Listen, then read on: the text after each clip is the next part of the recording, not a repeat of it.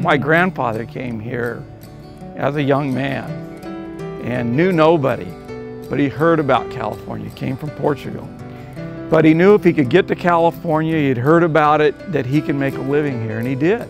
Came here as a young man, 18 years old, worked for someone, bought a few cows, started a dairy, married my grandmother, raised kids, bought another farm, and now I'm farming that farm.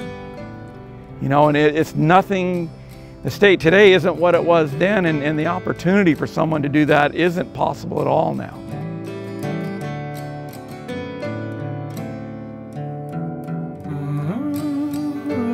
people here understand that they are the beginning of the food chain. I mean, I grew up with these people, my dad, his buddies. They wake up in the morning, they go get coffee, they go have their rounds, they do their job, they fix things that break, they get them back running, and they do the whole thing again in the morning. And they just want to know when they go to bed at night that their family's taken care of, that their employees are taken care of, and that they get to wake up in the morning and do the same thing over again.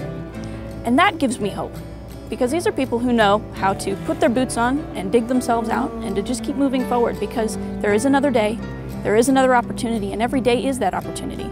California is not done.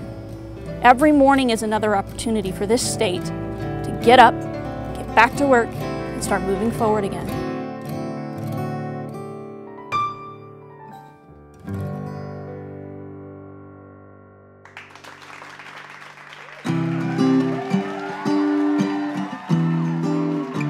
If we're going to be led out of this recession in California, if we're going to put Californians back to work, you know who has to do that? Small business. 98% of businesses in California are small businesses, and 80% of Californians work for a small business. So if I could do one thing as governor, it would be to create the conditions that makes it easy to start a business, easy to grow a business in California. And that's why I'm running.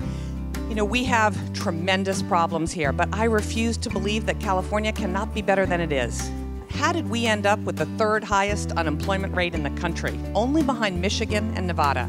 Every morning, 2.3 million Californians wake up without a job. Been here my entire life. Uh, what's really killing us right now in California is all the regulations. The Valley is the heartland of California, and, and we get teased a lot for being flyover territory. Without the Central Valley, I mean, no no farmer, no food. People in the cities think milk comes from a grocery store. And so um, it's sad that they, don't, that they can't see the fruit basket we have here in this world here in the San Joaquin Valley. For much of last year, many of you got 10% of the water allocation that you were actually due. Maybe it's now up to 40% because we've had a little more rain. But the truth is, through the dry summer and this fall, we'll be back in the same fix. So I want to get those pumps turned on and I want to restore the economic health of the Central Valley. I've been faced with water cutbacks for several years.